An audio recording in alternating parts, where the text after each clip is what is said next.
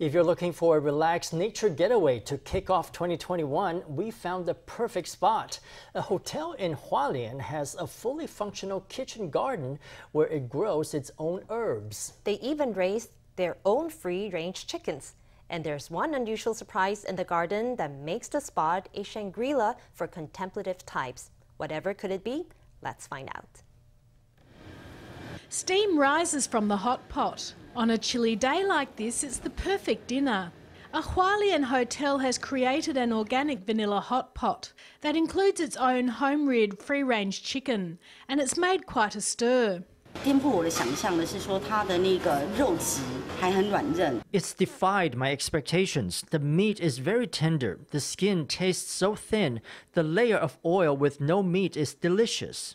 The juicy chicken was fed on organic vanilla.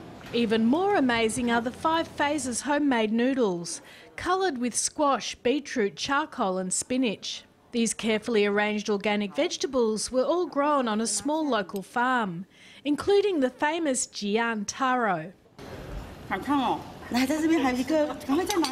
Its firm texture is so moreish. After you've finished, head just outdoors for a stroll in the kitchen garden where the vanilla grows.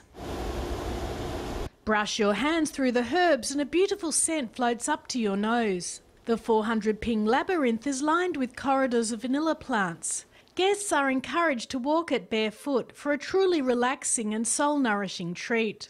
那透过在这个迷宫里面慢走，大概四十分钟。You can walk the whole labyrinth in about 40 minutes. We have about 30 to 40 different varieties of vanilla in the garden. We replant them according to the seasons. Over the course of a year, we have over 100 varieties appearing across the garden. This is the kind of tranquil spot where time slows down to a leisurely amble. If you're looking for a late winter getaway, why not head down for a break among the vanilla flowers?